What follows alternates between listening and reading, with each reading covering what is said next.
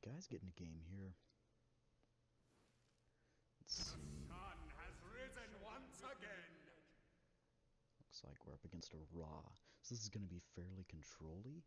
Um, but Ra does have a lot of afterlife minions, which are very slow and extremely good to recall. So for that reason, I'm going to keep the Hebos. Considering that I already have two units, I'm okay keeping Emperor's Prize. Clay Soldier could be useful. This is definitely not a full keep, though.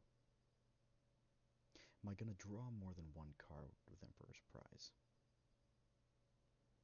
Probably not at this point, because I don't have soldiers or guards.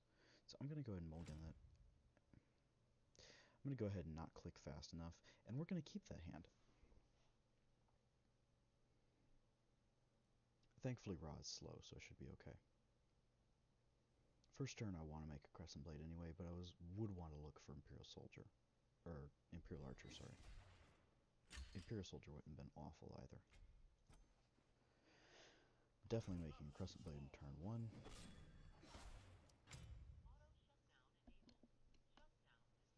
Stupid headset. Um, if um, if this is appeasement Ra, that attack is incorrect, but I don't think it's appeasement Ra. If it was cookie, maybe I wouldn't have, but I think I'm safe. Let's see what he plays. It's three mana turn, so Bastet's a possibility. Decrepit Bowman is another possibility. I will probably go ahead and Hebo that. It gets something on board, and like I mentioned, Ra is slow. So we're going to go ahead. It doesn't really matter where I play the Hebo. That's incorrect to say. It doesn't matter as long as I play it out of range of Ra, because most likely he's got a way to remove it. Maybe if um, I didn't have the second Hebo, I'd be a little slower to just go ahead and play that. Uh, but I think that's correct. If I if I really wanted to, I could make a blade, double blade that, remove one of the one ones, which wouldn't have been awful. Or I could have gambled and uh, Clay Soldier it. However, I kind of want to save Clay Soldier for on her. Because I'm going to assume this is a mid-range Ra deck, unless I see otherwise. Personally, I prefer Control Ra, um, but that's not currently the meta. With, I think the meta is wrong, but that's neither here nor there. 4 mana card playing in front, probably Khepri. Probably Khepri. Oh, he's gonna replay the decrepit. Oh yeah, that was the that was the decrepit because it came back to his hand. In this game, cards are backwards, so this is his first card, and this is what he top decks. Small tidbits of information.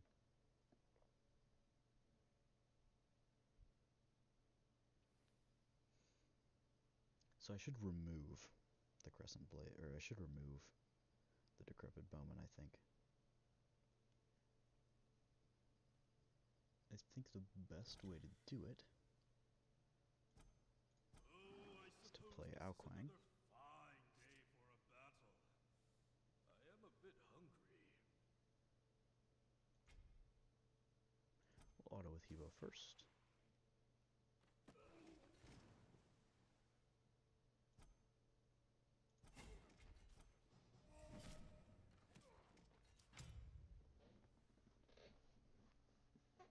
This puts a threat on board that he has to use an execute for, which then frees up my Sun Wukong in two turns. If he doesn't kill it, then I probably Emperor's Prize make a blade next turn. Three mana draw two is good. Uh, that's fine to use the last breath on that. I can live with that. Means he's not last breathing my Sun Wukong. The more remove I can get out, the better. And the recall is actually insane. I'm gonna recall my own my own unit there. He's gonna kill my Guan Yu next turn. Curses! That's fine, because next turn I kind of want to Sun Wukong anyway. Just push one stone damage. If I get this to 8 HP, that's relevant. Because then I can Sun or Ao Kuang Dragon King. This is only 3 mana, so it's not that bad. And then I can either Guan make a blade or Guan Hebo, and that's a good Hebo target.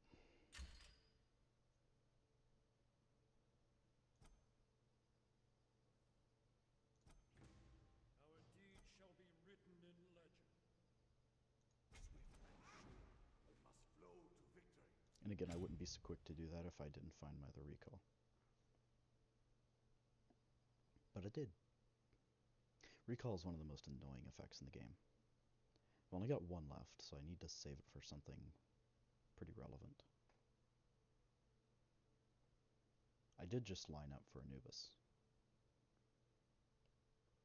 So my positioning is incorrect here. He's gonna go ahead and replay the Neith. And probably heal himself. He should heal the stone. In my opinion. He has a two mana card. So what's he got? He was what he drew two turns ago. He's gonna heal. Okay. So what is that?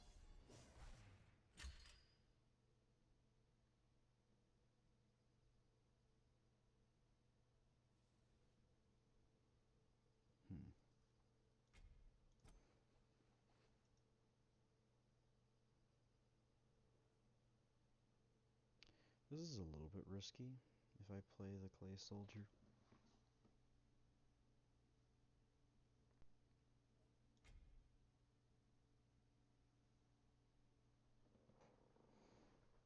Most likely it doesn't work.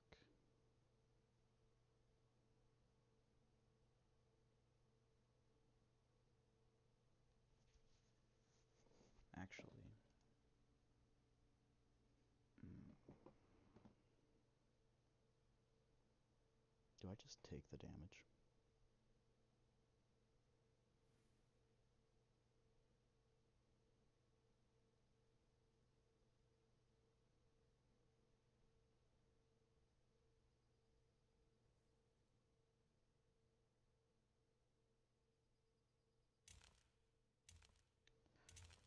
I think I just take the damage and instead play uh, Oh, I suppose this is Thunder for value.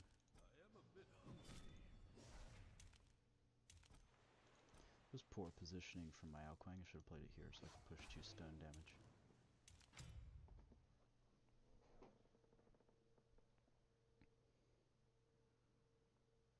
Chances are I don't hit a very big board, so I'm okay with using it to push damage. He hasn't drawn a Sobek yet. Actually, that was probably the two mana hover.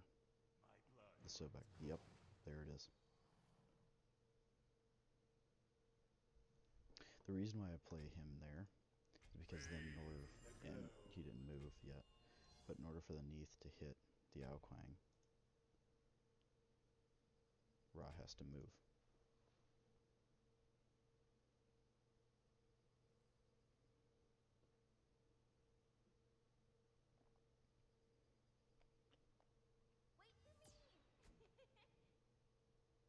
That's fine. I'm just gonna Crescent Blade the Neith. Probably Clay Soldier the uh, Sobek.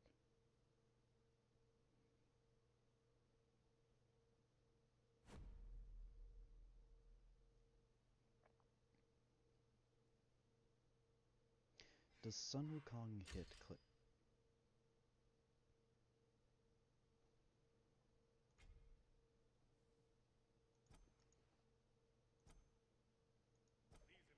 immortals need to be taught a lesson. Well, that's a head scratcher, Gary.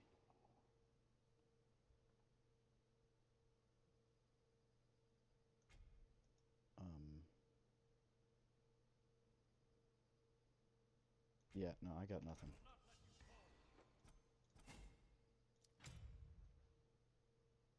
I, yeah, no, I don't know why. that's. Mm.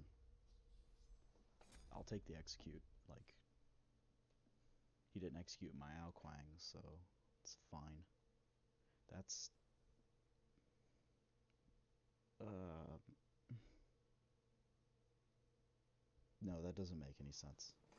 Like one, two, three, four targets. You don't you you can't do that. That's a really fast way to lose a game. And I can still deal with the Sobek on board, which is why I didn't prioritize killing the Sobek or recalling the Sobek. If he has another last breath, I want to recall another Ao Kuang. Fire Imp to kill my Ao Kuang, okay. But he kills his entire board while doing so. So I'm okay with that. Um, Dragon King wins me the game, right?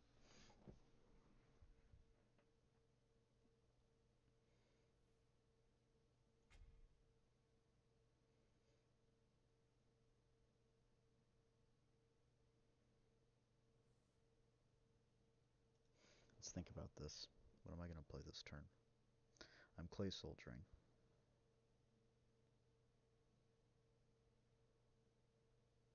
Just three hero powering. Just five. So gives me four. So Imperial Archer.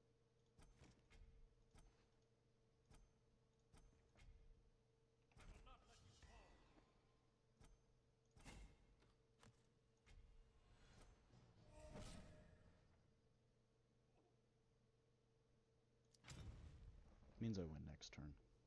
Unless he has execute. Or annihilation, actually. That play was weak to annihilation. I think I'm okay with that. He would have played it already. Nope, he loses.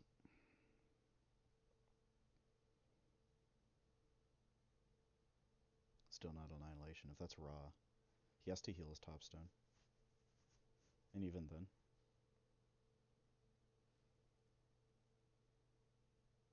The sun has risen once again. that's fine. Nope, he didn't heal his top stone. Good game.